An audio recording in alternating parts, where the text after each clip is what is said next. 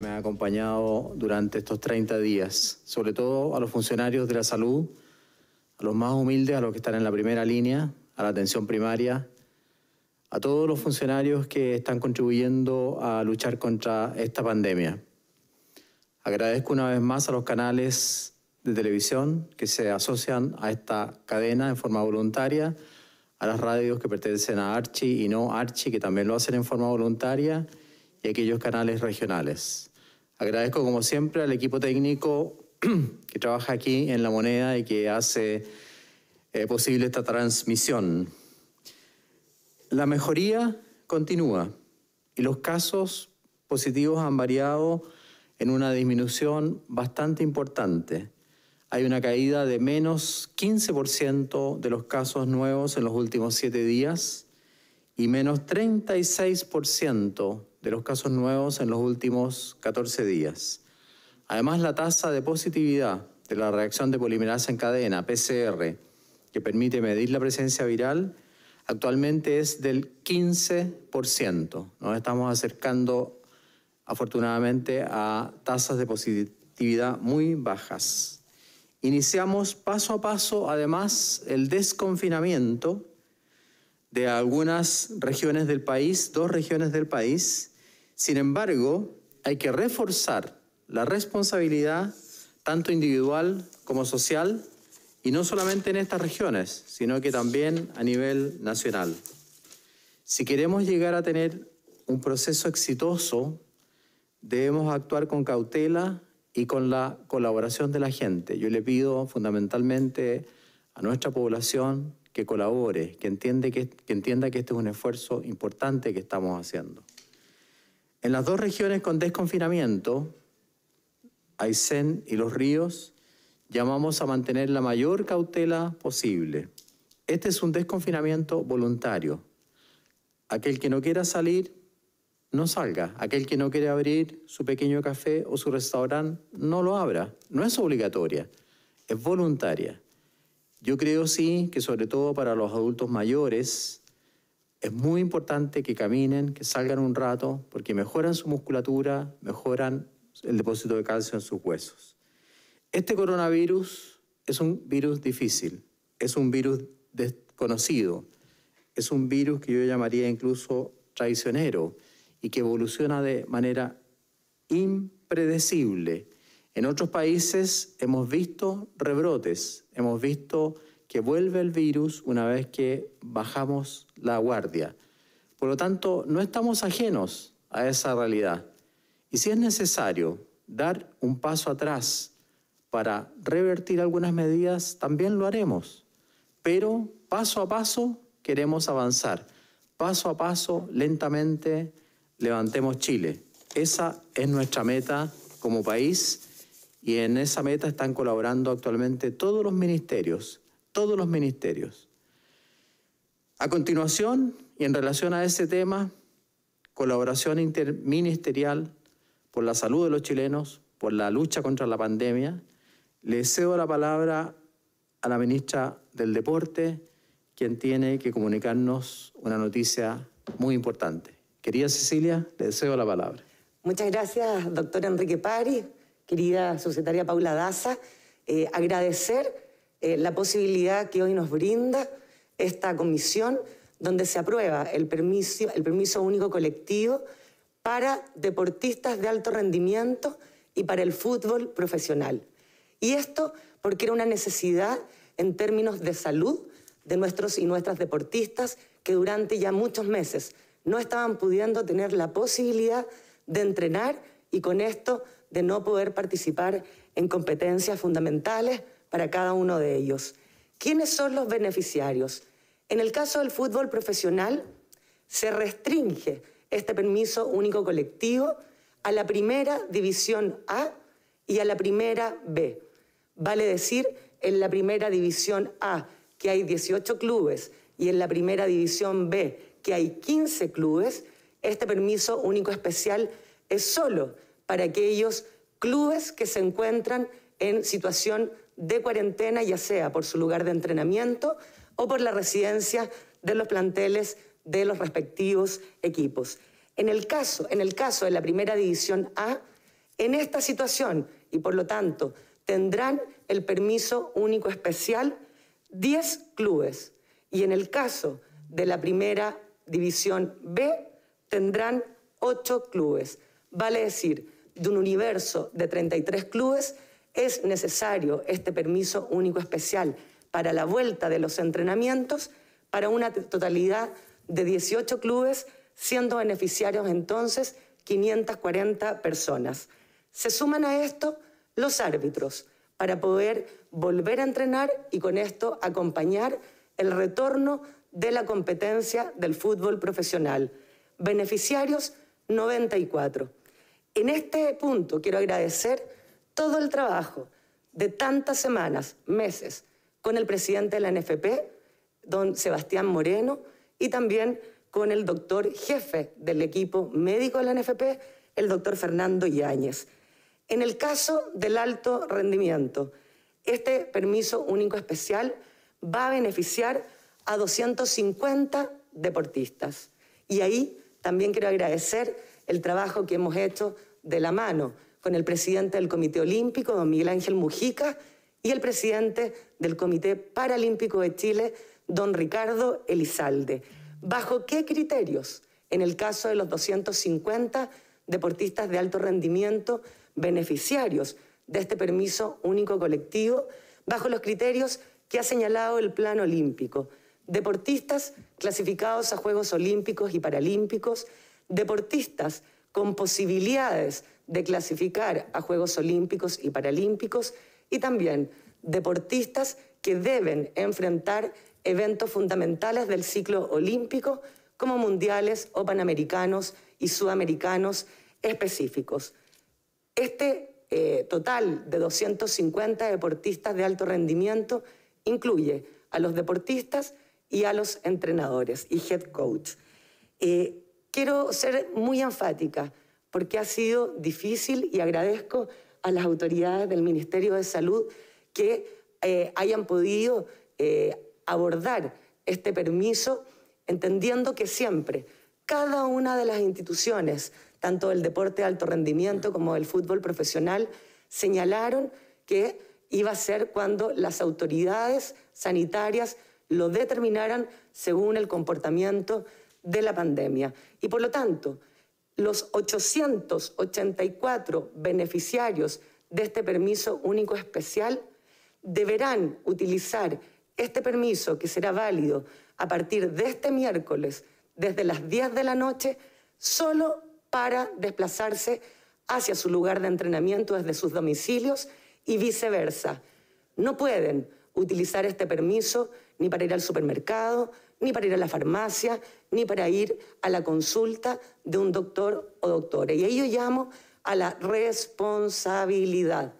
Este permiso es solo para entrenar y para que puedan volver a recuperar el nivel de eh, tanto salud física como mental como estaban acostumbrados antes de eh, estar paralizados en sus respectivos entrenamientos. Asimismo, quiero señalar que para haber llegado a obtener este permiso único especial, se trabajó en los distintos protocolos de la mano de las autoridades del Ministerio de Salud, tanto los equipos que lideran el doctor Enrique París como la subsecretaria Paula Daza para tener los protocolos con estándar mundial. Y por lo tanto, los protocolos para el regreso del entrenamiento del fútbol, que considera no solamente el entrenamiento, sino que también los traslados para asegurar lo que es primordial, primordial cuidar la salud de nuestros deportistas eh, y posteriormente cuando se reanuden las competencias, los traslados, las concentraciones, todos esos protocolos ya existen y deberán eh, finalmente ser llevados a la práctica bajo la directriz de la NFP por todos los clubes de la Primera División A y de la Primera División B. Asimismo, en el caso de los clubes de fútbol que están en comunas con cuarentena y para lo cual rige este permiso único especial, que son 18, el máximo de personas beneficiarias por club es de 30 personas. No se incluye dentro de, este, de esta globalidad de 30 a aquellas personas que por su profesión u oficio ya cuentan con un permiso especial de trabajo, como son los profesionales de salud y como son los guardias de seguridad. Sin perjuicio de eso, y en todo caso, deberán respetar la resolución dictada por la autoridad sanitaria y que fue publicada en el diario oficial, que en lugares de entrenamientos abiertos no podrán eh, haber más de 50 personas.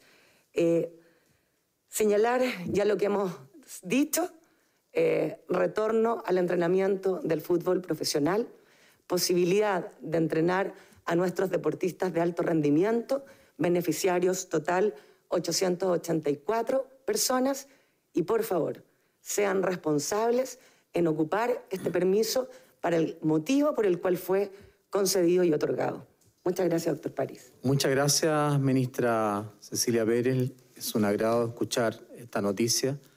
Espero que eh, actúen con, actuemos con responsabilidad y obviamente podamos facilitar el trabajo, porque es un trabajo de nuestros deportistas.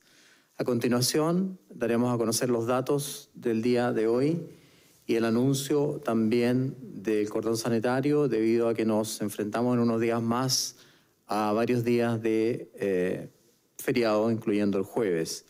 Doctora Daza, por favor. Gracias, ministro. Eh, muy buenos días. Eh, con respecto a la pandemia, la situación de nuestro país, hemos seguido viendo una evolución favorable.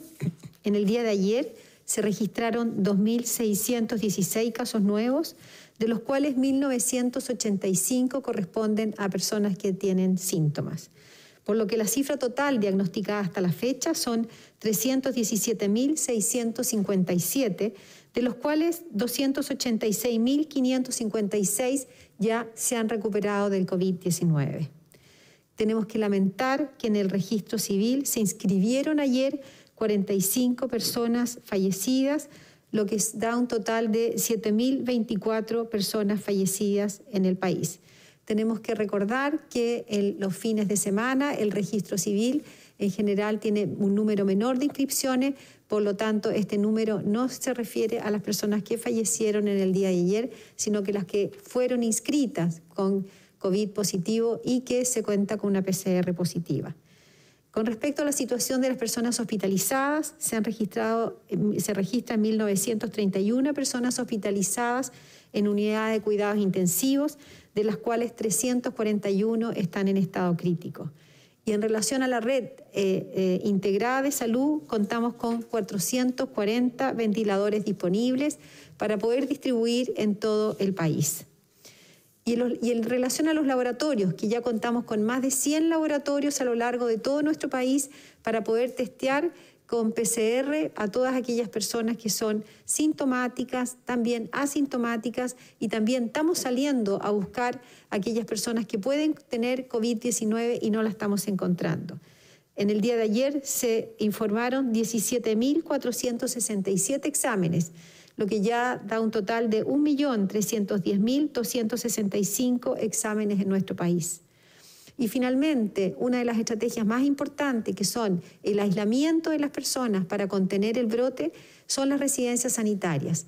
Y aquí volvemos a hacer un llamado que aquellas personas que requieren una residencia sanitaria, que no pueden realizar un aislamiento efectivo, que llamen al 800-726-666 para acceder a una residencia sanitaria. Contamos con 156 recintos a lo largo de todo nuestro país, con más de 10.000 cupos y se encuentran 6.018 personas en una residencia sanitaria en nuestro país, en todas las regiones. Y finalmente, como ya dijo el ministro, nos viene un fin de semana eh, con un feriado, por lo que queremos anunciar eh, un cordón sanitario, como lo hemos hecho en oportunidades anteriores, en la región metropolitana, en Valparaíso, en el Gran Concepción y en Temuco, desde el día miércoles 15 de julio a las 18 horas hasta el día domingo 19 de julio a las 22 horas. Aquí quiero recordar que existe prohibición para trasladarse a la segunda vivienda a lo largo de todo nuestro país. Por lo tanto, quiero hacer un llamado a que las personas que este fin de semana, que va a haber un feriado entre medio, no se desplacen a las segundas viviendas para evitar y disminuir la aparición de otros brotes. Muchas gracias, doctora Daza. Eh, y ahora pasamos a las preguntas. Primera pregunta, por favor. Buenos días, ministro. Soy Maolis Castro, del Libero. Eh, ministro, queríamos preguntarle, porque el CLAPES UC comenzó a realizar un informe semanal sobre reapertura de la economía. De hecho, la semana pasada el texto mostraba que Aysén y los ríos tenían buenos indicadores y coincidió con la decisión de la autoridad sobre las regiones. Ahora se plantea seguir con Magallanes y los lagos. El MinSAN considera válidos los parámetros de ese informe de CLAPES UC y lo otro es qué regiones ve más próximas a un posible desconfinamiento. Muy buena pregunta. Gracias a El Libero por incorporarse a estas conferencias de prensa. Bienvenida. La pregunta la contestará nuestra subsecretaria, doctora Paula Daza. Bueno, eh, como, como, informa el, el, Libero, efectivamente, y el estudio que ha hecho CLAPES, eh, nosotros hemos visto, de acuerdo a los criterios que venimos informando todos los días, una buena evolución en varias regiones, eh, principalmente del sur. Eh, la región de, lo hemos informado, la región de Magallanes ha ido evolucionando de una manera muy positiva, también la región de los lagos, también, también la región de la Araucanía. Son regiones que hemos visto en las últimas semanas una muy buena evolución con respecto al número de casos nuevos, una disminución en el número de casos nuevos, una baja tasa de positividad, una buena trazabilidad y por lo tanto eh, efectivamente son regiones que nosotros analizamos, vamos a analizar en la medida de que tengamos una, una evaluación muy estricta de los parámetros, con protocolos muy estrictas en la región, para poder ver la posibilidad de seguir evolucionando hacia nueva apertura. Es una decisión que tomamos en el comité de crisis, que evaluamos donde estamos todos eh, con el presidente de la República y probablemente podemos ver nuevas luces en otras regiones en las próximas semanas. Muchas gracias, doctora Daza. Segunda pregunta.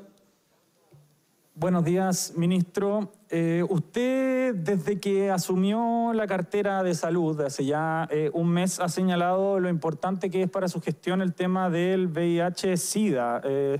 Sin embargo, en los últimos días, en el último tiempo, meses en específico, eh, personas viviendo con VIH han tenido que recurrir a los tribunales de justicia para demandar eh, que se apliquen las normas que el mismo MinSal ha instruido eh, cuando se ordenó la entrega de terapias hasta por tres meses a todas las personas con enfermedades crónicas, incluyendo explícitamente a las personas que viven con VIH. En este momento hay nueve recursos de protección tramitándose en distintas cortes de apelaciones del país, demandando que se haga entrega de estas terapias de VIH multimes, tal como lo recomienda la OMS y así también eh, la ONU-SIDA, es decir, por un periodo mínimo de tres meses. Eh, quería preguntarle, ministro, ¿qué medidas concretas está tomando el MinSal eh, para que se aplique esta política pública y cuál es su compromiso personal con estas eh, personas que han tenido que acudir a la justicia para exigir este derecho.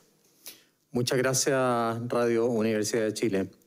El programa VIH-Sida contempla actualmente 34 medicamentos que se distribuyen a 50 establecimientos de toda la red de salud. Los medicamentos se han entregado en forma constante. Para enfrentar y apoyar lo solicitado por el decreto número 4 del Ministerio de Salud, la Senabas ha realizado todos los esfuerzos de coordinación para dar cumplimiento y cobertura a la entrega de medicamentos a los servicios de salud.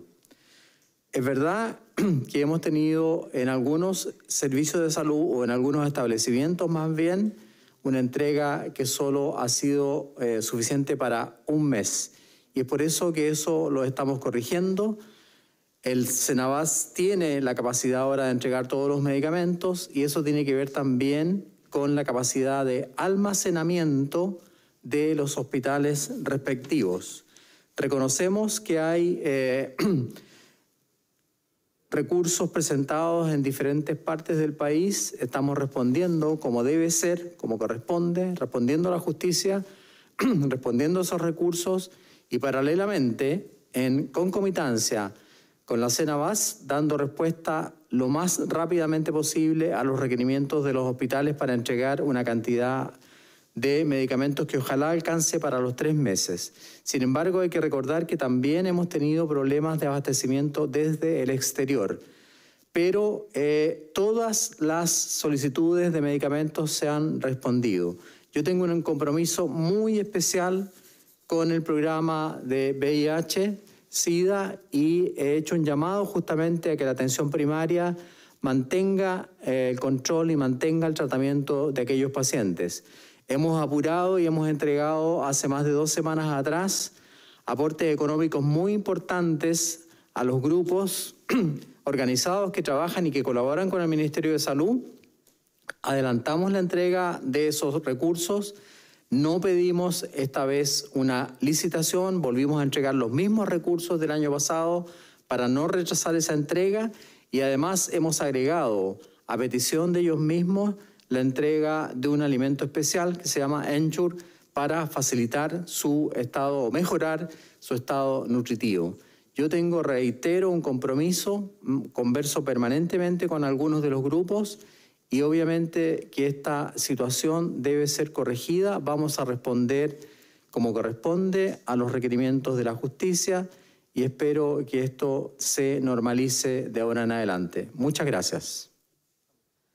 Hola, muy buenos días. Eh, ayer subimos la entrega de nuevas cajas de alimento, una, segunda entrega de estos alimentos para Chile. Sin embargo, las cajas también ahora van a incorporar otros eh, elementos como por ejemplo toallas higiénicas y también preservativos. Quería saber cómo fue la participación del Ministerio de Salud en esta política, en esta decisión, cuál es el objetivo que ha sido celebrado por varios sectores y particularmente ayer el ministro Cristian Monkever cuando hace este anuncio dice que esto va a venir acompañado de em, un documento de información sobre educación sexual y reproductiva. Saber si eso está a cargo de ustedes como Ministerio de Salud, porque tanto en el Ministerio de la Mujer como en el Ministerio de Desarrollo Social no saben mucho de este instructivo que, insisto, lo dijo ayer el ministro de Desarrollo Social. Y si es así, si este, por ejemplo, instructivo sobre educación sexual y, em, y también eh, educación sexual, digo, y reproductiva, tiene, por ejemplo, un enfoque de género. Muchas gracias a Radio ADN por esa importante pregunta. Va a contestar nuestra subsecretaria eh, Paula Daza. Bueno, con respecto al, programa de, educación sexual, de, prevención de embarazo en, las personas adultas, en las niñas adolescentes, eh, Chile y en los consultorios existe un programa muy robusto en relación a este tema que efectivamente que está en la atención primaria eh, eh, a través de todo nuestro país. Eh, todos los años este programa, en términos generales, el año 2019, por ejemplo, en el plan de educación y de prevención de embarazo, se entregaron más de 10 millones de condones. Eh, y hemos visto que este año, en el año 2019, desde, desde marzo a la fecha, había una disminución importante tanto en la entrega de preservativos como también en la entrega de, prevención de embarazo, estamos hablando de anticonceptivo. Y es por eso que nos parece muy relevante llevar este programa a la casa, a la familia, la educación sexual a las adolescentes. Y este, esto que se entregó en el día de ayer es parte de un programa de fortalecer y de llevar a la familia el programa de prevención de embarazo, tanto adolescente como en el adulto, a las casas, porque estamos viendo una disminución importante en las consultas, en, el uso de, de preservativos eh, debido a la demanda que hemos visto en los consultorios también de anticonceptivos.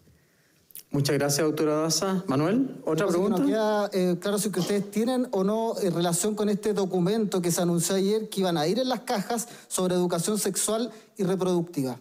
Bueno, efectivamente, el Ministerio de Salud tiene un programa, tiene un documento de prevención, lo cual lo va a hacer entrega para que se pueda disponer a todas las familias a través de los distintos mecanismos.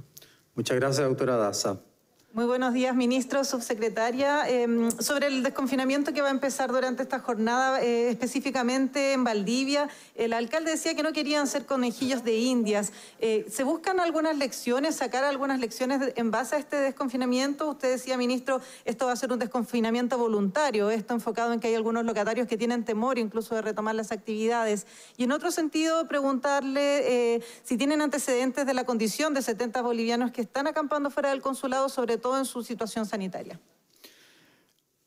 El desconfinamiento en las regiones de Los Ríos y Aysén se tomó como una medida de avanzar paso a paso, lentamente, en la recuperación de Chile. Levantemos Chile paso a paso.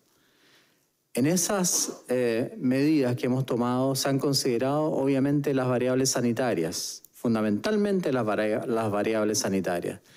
No es un experimento y obviamente que si es necesario y las variables sanitarias se hacen negativas o obtenemos resultados negativos, daremos marcha atrás. Esto no es un experimento, ni son conejillos de indias, como usted ha dicho. Eso no es una palabra que hemos usado nosotros y jamás usaré ese tipo de palabra para referirme a las personas.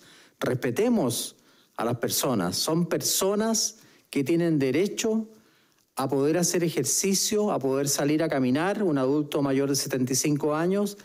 Son garzones y son dueños de cafeterías que tienen derecho a trabajar y a llevar el pan a su familia. Son personas que están esperando una cirugía electiva y que no la han podido llevar a cabo porque también se liberó eso. En fin, son personas que también tienen que hacer ejercicio.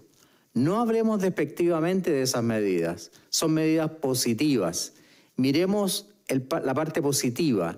Yo dije que es voluntario porque leí ayer en una radio nacional que algunas agrupaciones de adultos mayores no iban a salir a caminar, pero si eso es lógico, no es obligación. Ellos le responderán a sus asociados si después tienen una fractura de cadera o se deteriora más la musculatura. Si el restaurante o la cafetería no quiere abrir, está bien. Ellos le responderán a sus garzones. Entonces, veamos la cosa en forma positiva, en forma propositiva, viendo que es un paso lento que estamos dando. Por favor, actuemos con positividad, con visión de futuro. Veamos esa luz pequeñita al final del túnel, aunque sea pequeñita, y a lo mejor se apaga, y si se apaga, obviamente que daremos marcha atrás. Pero yo creo que darle a dos regiones esta posibilidad es un reconocimiento a lo que ha hecho la población en esas regiones, es un reconocimiento también al trabajo de los funcionarios de salud. Yo creo que cometimos errores al no comunicarle, por ejemplo, a todos los alcaldes, al no comunicar quizás a algunos gremios, y eso lo vamos a corregir en el caso que en el futuro volvamos a colocar algunas regiones en desconfinamiento. Yo pido perdón si cometemos errores, pero la intención es positiva, la intención es buena, la intención es ayudar a la gente a tener una mejor calidad de vida, pero siempre velando por su salud. Muchas gracias. Quedó pendiente, ministro, disculpe, eh, la situación de 70 ciudadanos bolivianos fuera de la del consulado que están acampando, si tienen algún antecedente sanitario sobre todo. Sí, la doctora Paula Daza va a contestar esa pregunta. Bueno, con respecto a la situación de las personas que están acampando, en las personas bolivianas que están ahí, primero que nada decir que la Cancillería está haciendo todas las gestiones para que esas personas que quieren regresar a sus países lo puedan hacer. Lo está haciendo trabajando con la Consellería Boliviana para que en el corto tiempo posible puedan regresar a sus países. Eh, la autoridad sanitaria, la Seremi de Salud, ha realizado con sus equipos las fiscalizaciones para que cumplan los, los criterios, las condiciones mínimas sanitarias. Sabemos que es un riesgo, es un tremendo riesgo que las personas estén acampando fuera de, ese lugar porque obviamente están todas juntas y se pueden contagiar. Así que hacemos un llamado a esas personas que acudan, eh, que, que están haciéndose las gestiones con el gobierno boliviano, que no esperen en los lugares abiertos porque efectivamente son personas que tienen más posibilidades posibilidades de contagiarse y de contagiar a otros, lo que puede producir un, brote entre ellos. Y lo otro que si hay casos positivos, efectivamente estas personas pueden ser trasladadas a una residencia sanitaria para poder hacer el, aislamiento efectivo ellos y sus contactos estrechos. Muchas gracias, doctora Daza. Última pregunta. ¿Cómo están? Muy buenos días. La buenos días. para la ministra Cecilia Pérez. Ministra, ¿por qué se autoriza o se le da el permiso solo a 18 clubes de los 33? ¿Cuáles son los requisitos que tienen que, cumplir los clubes? ¿Se les va a exigir, por ejemplo, una cantidad exacta de eh, PCR negativo? ¿Qué pasa con aquellos clubes como Colo Colo en este, en este caso que no tiene relación laboral y no puede hacer el chequeo? Muchas gracias por la pregunta. Ministra Cecilia Pérez. Eh, muchas gracias, Iván, por tu pregunta. Eh, este permiso único especial para deportistas y planteles de clubes de fútbol, de clubes de fútbol profesional eh, beneficia, en el caso de la pregunta que tú señalabas, Iván, a esos clubes que se encuentran en comunas con cuarentena. ¿Y por qué? Porque eh, el beneficio de estos 18 clubes no incluye a los 15 restantes, dado que son planteles que en su mayoría ya están entrenando. Y los que no están entrenando, que son cuatro o cinco, dicen relación por motivos ajenos a la pandemia. Eh, dicho eso, y yendo al ejemplo particular de Colo Colo, que no solamente hoy día lo está viviendo este club, sino que al menos uno más, ese es un problema que tienen que resolver, eh, en este caso, los dirigentes con los jugadores, con los trabajadores, y nosotros lo que siempre pedimos, que se escuchen, que se avancen, que se entiendan que estamos en un minuto que no es fácil y por lo tanto, si se aunan las voluntades, entonces podemos finalmente resolver los problemas. No es un tema, en términos de las relaciones laborales, en que nuestro ministerio tenga facultades, al contrario, tenemos imposibilidad constitucional para poder eh, eh, estar entre medio de un conflicto laboral, pero si nosotros esperamos que estos clubes con sus jugadores puedan resolver este conflicto laboral y que también eh, la NFP, como ha sido la voluntad eh, de Sebastián Moreno, el presidente de la Asociación de Fútbol Profesional, pueda también ayudar a interceder para solucionar, solucionar los problemas eh, que tiene no solamente Colo Colo, sino que al menos un equipo más. Muchas gracias, ministra Pérez. Muchas gracias, subsecretaria Daza. Muchas gracias al equipo comunicacional. Y con esto nos despedimos. Le deseamos un excelente... Adelante eso.